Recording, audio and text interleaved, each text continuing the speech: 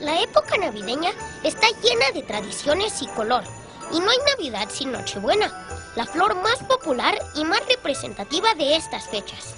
Y la verdad es que yo me fui a uno de los lugares más bonitos de la ciudad, que son los famosos viveros de Coyoacán, donde pude aprender más de estas flores, de voz de una experta.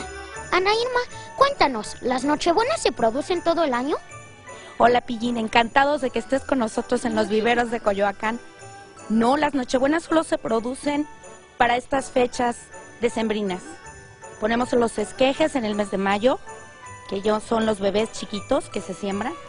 Se trabajan durante el mes de junio, julio hasta octubre, que es cuando se empiezan ya a tener las Nochebuenas listas para la venta. Y yo estoy observando que no solo existen las Nochebuenas rojas, ¿verdad? ¿Qué otro tipo de Nochebuenas existen? Bueno, Pillín, mira, existen la clásica y la que todo el tiempo se trata de cultivar más, es la Nochebuena roja. Pero año con año en los invernaderos se están produciendo nuevas variedades. Hoy eh, tenemos alrededor de unas 30 o 40 variedades de Nochebuenas. ¿Y cuáles son las que más se venden? Las que más se venden son las rojas.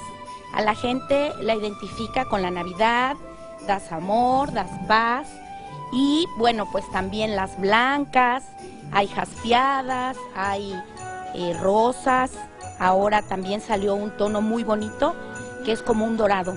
Yo sé que aquí en México se producen gran cantidad de Nochebuenas, pero ¿cuáles son los lugares en donde más se producen?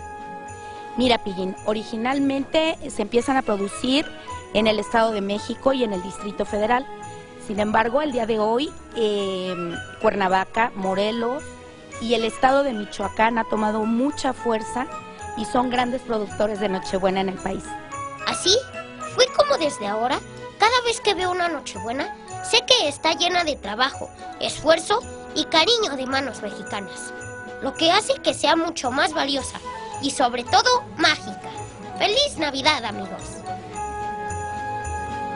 Qué cosa más hermosa. Gracias, Pillín. Y sí, efectivamente, cuando uno ve una flor, siempre tiene que pensar que detrás hay un gran trabajo. Tienes toda la razón. Ahora, desde mi punto de vista, no sabía que le llamaban Nochebuena, sino Pascua. Nochebuena le decimos. Nosotros le llamamos Pascua. Qué divertido. Aparte de eso, ser que Xochimilco, ¿viste? La trajinera y la cosa. Oye, importante que sepan de la Nochebuena, eh, puede ser eh, venenosa para los perritos. ¿Ah, Entonces sí? tampoco no la puedes. Exacto, Ah, sí, hay no que tener sabía. cuidado con la Nochebuena. Mira, yo, yo traigo- yo- ando, mira, con flores por todos lados. Estás veneno- venenosado. Y detrás de esto hay un gran trabajo. Eso. Y un gran corazón también. Y un gran corazón.